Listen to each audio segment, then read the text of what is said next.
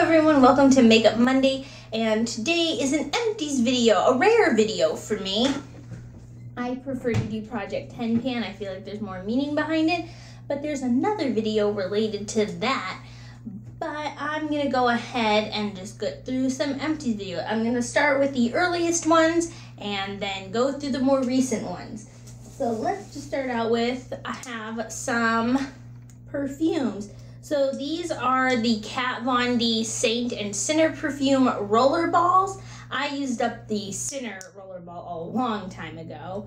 Um, but yeah, those are the three roller balls. I prefer Sinner to Saint, but that's just me, right?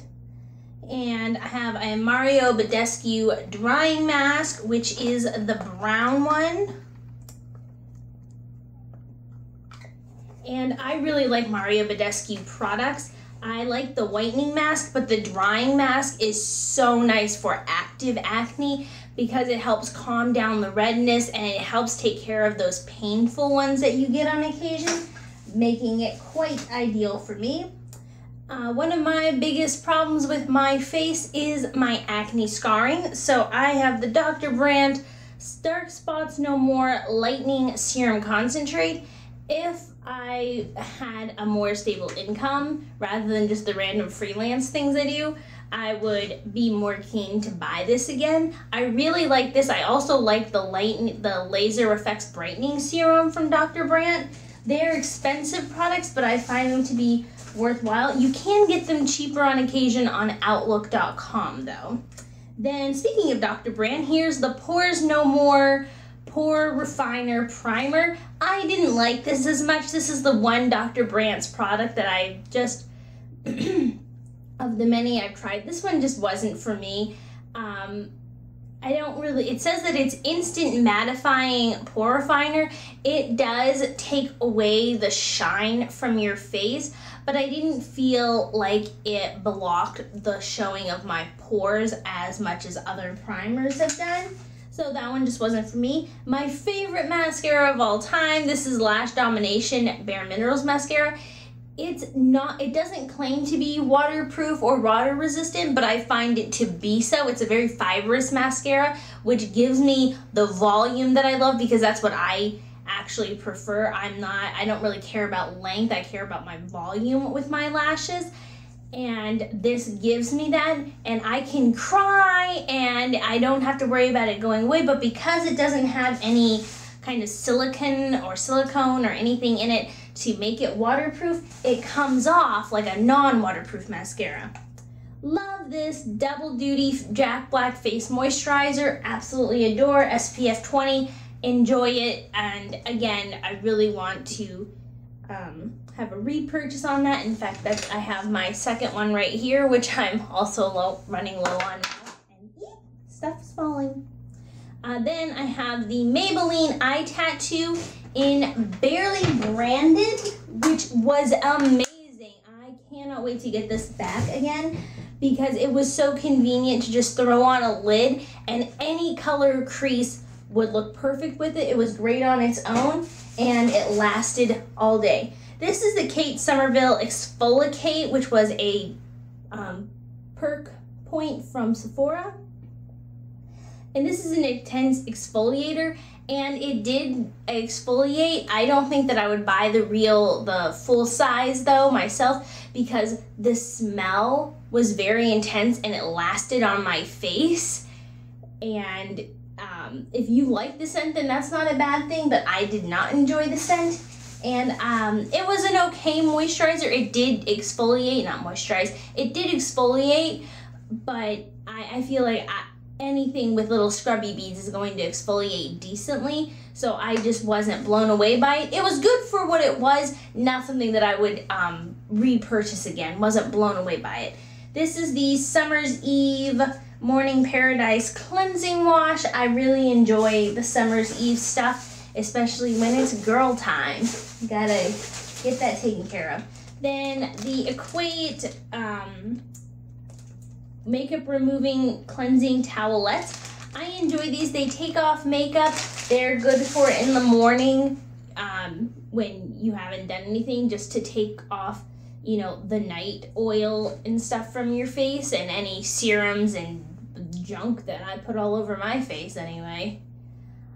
Now for some more recent stuff. I just ran out of my Ole Henriksen Truth Serum Collagen Booster. I loved using this.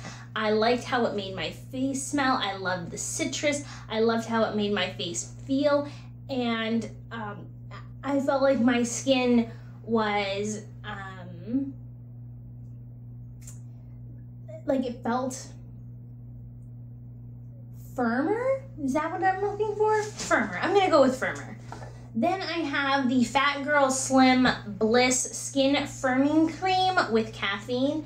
And this was nice for my thighs. I used to put this on my thighs at night. Were supposed to use it twice a day, but I really enjoyed how it made my legs feel. It made them look really nice. I don't have a big cellulite problem, just at the very top where I have the most um, collected fat just because I have big thighs. But I really enjoyed using this and it made my thighs look a lot nicer and smoother and I'm sad that it is gone.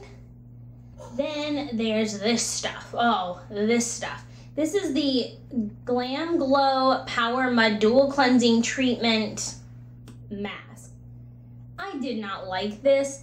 I it took me forever because the smell, first of all, the amount that you get with this is just it, this is in the middle of my hand, you know, and compared to compared to the giant tubes of masks you can get that were a lot better feeling to me. This says that it's a mud mask, but it was more like a gel mask, even though you wiped it off. And the smell was horrendous. It took me forever. It was a familiar scent, but I didn't like it. And it finally occurred to me what it smelled like. It smells like Cosmetic Warrior from Lush, like with the grapeseed oil and olive oil and stuff in it. But it did not do nearly as good for my face because this is the one that was supposed to be good for acne prone skin and combination skin. And the Lush Cosmetic Warrior Fresh Face Mask, it's a bigger tub and it does more for your skin. And if I'm gonna tolerate a terrible, horrendous smell, I want it to be nice on my face. This just, it didn't do anything for me. I, my face didn't feel cleaner, my pores didn't feel better. And when you spend, I think this was $26 or $27, you kind of want to feel like you're getting something out of it, especially when it's a face mask. This is the Mederma Advanced Once a Day Scar Therapy, and you're supposed to use it every day for months to help reduce your scar stuff. I feel like it did. The only problem I have with this is one, it's really expensive. It's like $25 for the tube, but unlike the Glam Glow mask, this actually does seem like it's doing stuff, especially after the first month, month and a half that you're using it. And it's really good for immediate scars. So if something happens and you immediately put it on there, it helps reduce it relatively quickly.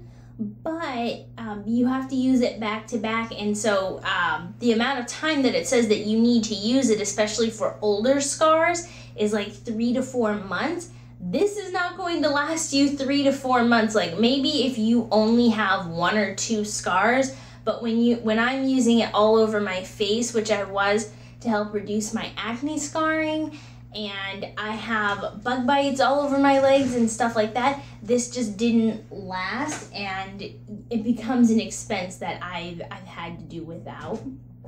This is the Pure Silk Luxurious Shave Cream. And I like rust proof cans.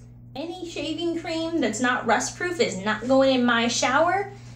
Um, and yeah, it's shave cream. It did what it was supposed to do. It was moisturizing, didn't dry out my skin, and didn't cause me to break out in anything. I'm happy, and it's inexpensive. Even better. This is the Clear Scalp and Hair Total Care Nourishing Shampoo.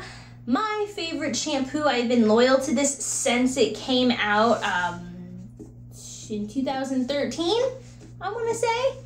Three years ago, two years ago.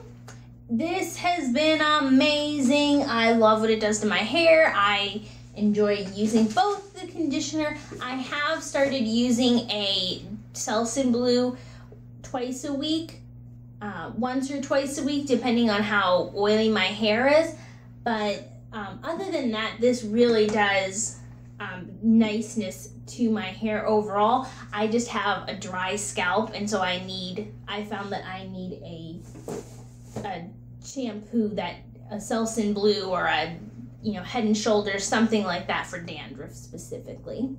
And the last thing, the most random thing out of the bunch, is my last appliance light bulb. If you watch my vlogs in August, you will know that on the 3rd of August, I had to change my light bulb and I realized that this was my last one. And I'm not throwing this away because I have to take it back to the store to buy more. So that was my empties video for the last couple months.